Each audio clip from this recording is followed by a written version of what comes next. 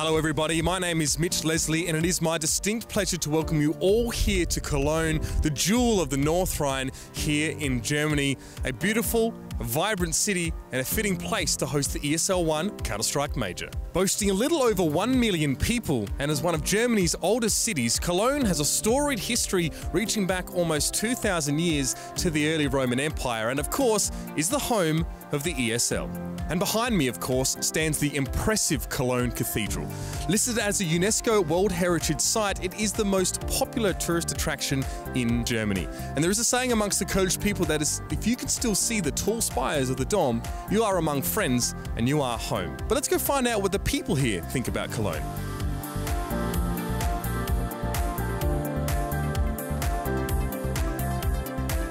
So I finally managed to find a couple people that aren't going to run away from a man in a pink suit walking towards them. Please tell us where you guys are both from. Uh, I'm from Cologne and she's from Aachen. You're here in Cologne now. What do you love most about Cologne? Um, I love the people here. They are very friendly and I like to speak with them. All the different culture they are meet in Cologne. What's your favorite part about the city? Uh, you have great people here. Friendly people here in Cologne, but you are a CS fan, so tell me, who's going to win the major and why? Uh, I hope it's Astralis because they have a great roster and they're just good.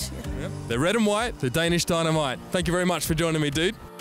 I think the most interesting part of the city is the dome because I think it is very interesting how it was built and when it was built over a long time. It's also interesting to see how many uh, you know from like YouTube videos. Cologne is a city where YouTube is very big, very uh, famous YouTubers live here and it's very interesting to see some places that you only have seen in videos and then you see it just in real. That is, I think that's amazing.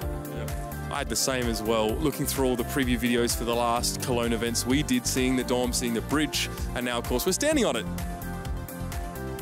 I gotta ask you, what are your first impressions of Cologne as a city? So far, it's been beautiful. A bit cold, but it's beautiful. yeah, it's a little cloudy. What's your impression, I guess, of Germany, of a country, compared to perhaps where you're from as well? Is it, is it very different culturally, people-wise, or similar? I would say it's pretty similar. Um, I guess people are a little bit more friendly here. Um, they've been very helpful helping me find directions and everywhere I need to go. So. And accosting you for interviews randomly? Yes, that too.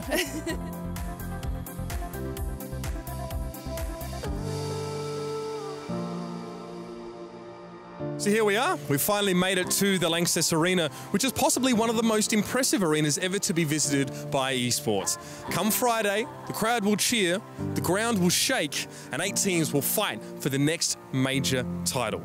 One question, though, does still remain. On Sunday, which team will make the Lanxess Arena the site of their greatest victories to date, and which teams will have to watch it all from the sidelines? But in the meantime, there's a ton going on inside the arena itself in the lead up to the weekend, so let's go find out exactly what people are up to.